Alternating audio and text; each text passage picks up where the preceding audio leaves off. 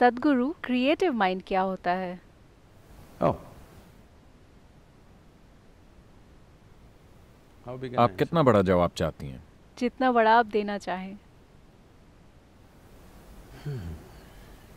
See the अंग्रेज़ी का शब्द माइंड कुछ खास नहीं कहता क्योंकि ये बस एक सामान्य शब्द है जो मन के विभिन्न आयामों के बारे में नहीं बताता।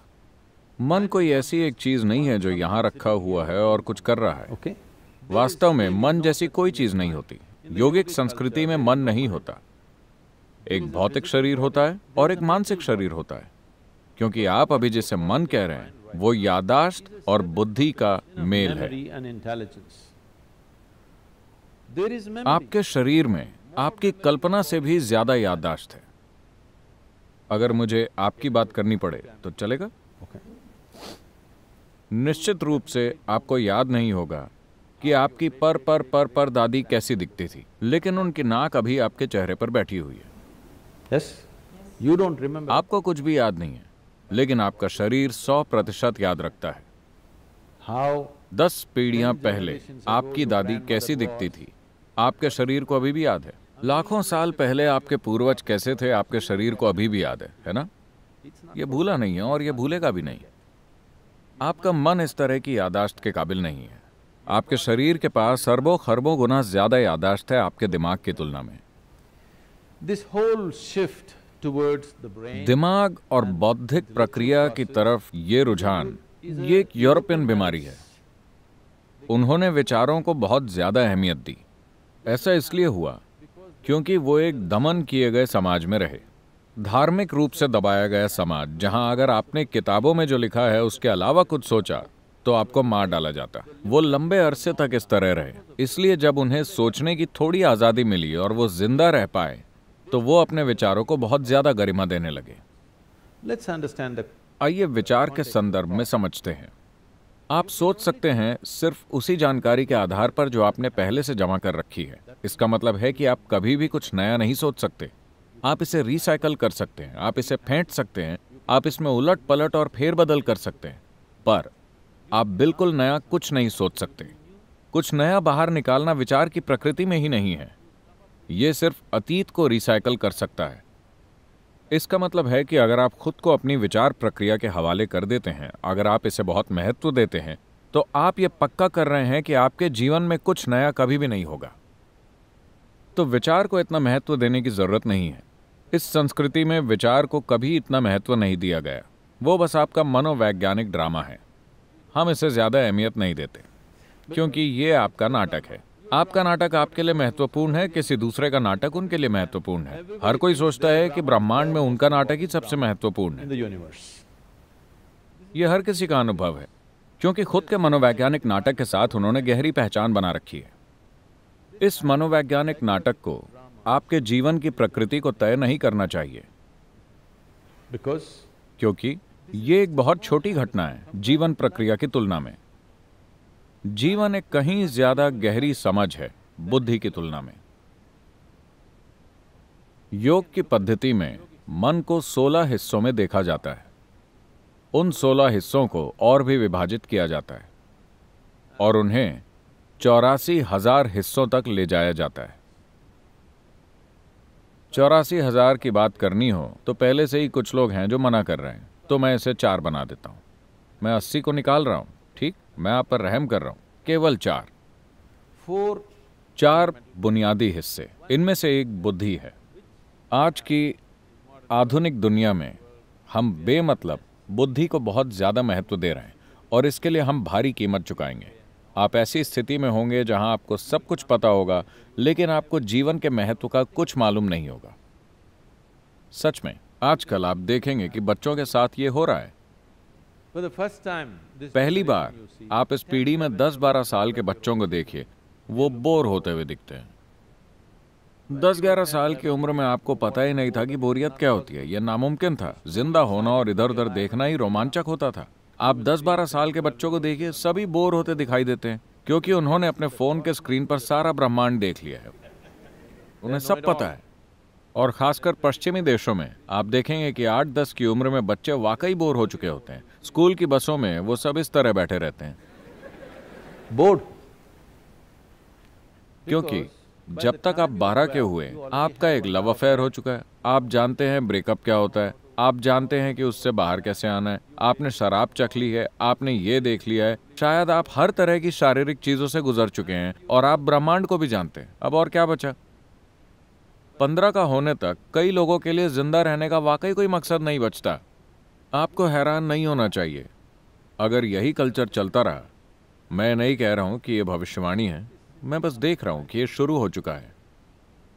अगले 50 या सौ सालों में अगर 25 से 50 प्रतिशत लोग आत्महत्या कर लें तो आपको हैरान नहीं होना चाहिए। बिकॉज़ क्योंकि जीवन थोड़ा उत्साह चाहता है। अगर बिना अनुभव के आपको बहुत ज़्यादा जानकारी हो जाती है तो वो उल्लास जा चुका होगा और आप में ज्ञान का एक झूठा भाव बहुत गहरा हो जाएगा। बुद्धि का यही खतरा है क्योंकि बुद्धि हर चीज़ की चीर फाड़ करना चाहती है। बुद्धि चाकू की तरह होती है। जितनी पैनी उतनी अच्छी। ये चीर फाड़ करके जानना चाहती है। चीर फाड़ कुछ चीज़ों के साथ कारगर होती है। जीवन के सारे पहलुओं के साथ नहीं। अगर आप जानना चाहते हैं वो बेचारा मेंढक। याद है आपको? Remember? वो बेचारा मेंढक जिसे आपने सूली पर टांग दिया था और काट डाला था। और उस यातना से जो महान ज्ञान आपको मिला वो अविश्वसनीय है। कितना ज्ञान. उस मेंढक ने जो यातना सही, उसके मुकाबले जो ज्ञान आपने हासिल किया, वो वाकई अविश्वसनीय है। वो सब आपको पता चल गया। अब अचानक आपके मन में जिस माँ को अभी तक अनदेखा कर रखा था, आज उसी माँ को आप जानना चाहते हैं। कृपया एक पैना चाकू लीजिए।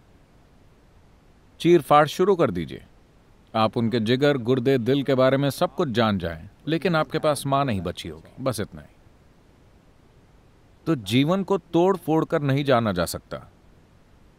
भौतिक चीज़ों के टुकड़े करके आप उन्हें जान सकते हैं। आप जीवन को टुकड़ों में विभाजित करके नहीं जान सकते लेकिन बुद्धि की प्रकृति ऐसी ही है। पूरा आधुनिक विज्ञान इंसानी बुद्धि से विकसित हुआ है। क्योंकि इसने तकनीकी फ़ायदे दिए हैं तो आप इसके खिलाफ तर्क नहीं कर सकते क्योंकि लोग know, Yeah.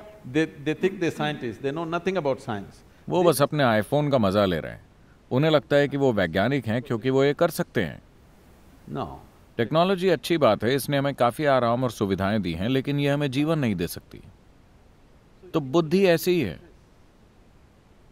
बुद्धि की उपयोगिता इस पर निर्भर करेगी कि इसकी पहचान किससे बनी हुई है और कौन सी चीज़ बुद्धि को पकड़ती है और कितनी स्थिरता से। तो मन का अगला आयाम पहले को बुद्धि कहते हैं दूसरे आयाम को अहंकार कहते हैं। अहंकार का मतलब ईगो वगैरह नहीं होता, बल्कि पहचान होता है। जिस भी चीज़ से आपकी पहचान जुड़ी है, आपकी बुद्धि सिर्फ़ उसी के इर्द गिर्द काम करती है। अगर आप अपनी पहचान को किसी देश से जोड़ते हैं, अगर आप कहते हैं, मैं भारतीय हूँ तो हर भारतीय चीज़ सुंदर दिखती है। अगर आप सीमा के पार जाते हैं और कहते हैं कि आप कोई और हैं तो वो सब सुंदर दिखता है। जिससे भी आप अपनी पहचान जोड़ते हैं, उसी के साथ आपकी बुद्धि काम करती है। तो अहंकार पहचान है। आपके अहंकार का निर्माण कितने सचेतन तौर पर और कितनी स्थिरता से हुआ है यही तय करेगा कि आपकी बुद्धि कितनी असरदार है। इसके सिर्फ़ पैने होने का यह मतलब नहीं है कि यह असरदार भी होगी क्योंकि पैनी बुद्धि या एक पैना चाकू दोनों ही आपको नुकसान पहुँचा सकते हैं। अगर आपके पास एक पैना चाकू है और आपके हाथ में स्थिरता नहीं है तो आप खुद को ही हर जगह काट डालेंगे। बस यही हो रहा है। Human suffering is just this. इंसान की पीड़ा बस यही है आप नहीं जानते कि इस बुद्धि को अपने हाथों में कैसे पकड़ना है। हर रोज आप खुद को काट रहे हैं। सारी पीड़ा सेल्फ हेल्प के ज़रिए आई है, क्योंकि आपका मन ही आपको हर समय ये पीड़ा दे रहा है। चाहे जो हो जाए, लोग दुखी रहते हैं। हर समय लोग दुखी रहते हैं, क्योंकि वो नहीं जानते कि इस बुद्धि को कैसे थामना है। अगर आपके पास केंचुए का दिमाग होता तो आप काफ़ी शांत होते। Yes?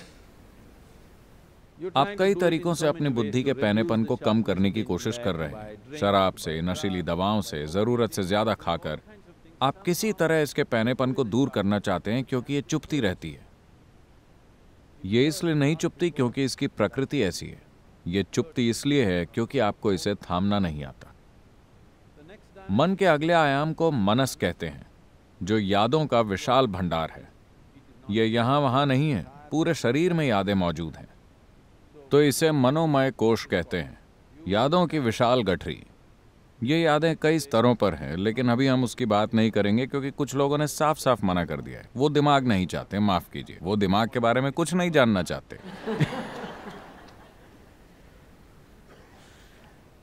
मन के चौथे आयाम को चित्त कहते हैं। चित्त का अर्थ है विशुद्ध बुद्धिमत्ता या इंटेलिजेंस ये यादों से दूषित नहीं है। इसमें किसी तरह की जरा भी यादाश्त नहीं होती। ये बस विशुद्ध बुद्धिमत्ता या इंटेलिजेंस है। अगर आप इसे छू लेते हैं, तब आपकी पहुँच उस तक हो जाती है, जिसे आप सृष्टि का स्रोत कहते हैं। क्योंकि हो सकता है कि आपके भीतर हर तरह की चीज़ें भरी हुई हों। भगवान ये है, भगवान प्रेम है, भगवान करुणा है, जो कुछ भी है। आप में से कोई यहाँ आइए, इस मंच के कोने पर खड़े होकर जो चाहे वो प्रार्थना बोलिए और नीचे गिर जाइए। मैं देखना चाहता हूँ कि आपके ऊपर करुणा बरसती है या हड्डी चटक जाती है. ये सारी चीज़ें इसलिए बनाई गईं क्योंकि जिस किसी चीज़ से कोई व्यक्ति वंचित होता है उस गुण को वो भगवान की अपनी धारणा से जोड़ देगा। भगवान के बारे में आपकी धारणाएँ सिर्फ़ इसलिए बनी हैं क्योंकि आप नहीं जानते कि ये सृष्टि कैसे बनी है।